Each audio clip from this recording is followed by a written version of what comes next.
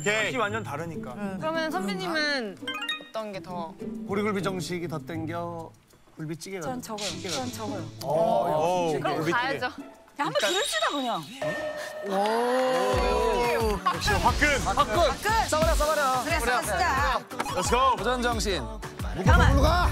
잠깐만. 그러면 이렇게 합시다. 첫 줄을 둘이 듣고 중간 줄을 이렇게 이렇게 나눕시다. 새로운 파트를 그치? 이거를 한 번에 세개 들으는 새로운 거안 방식인데? 되는 천재. 줄.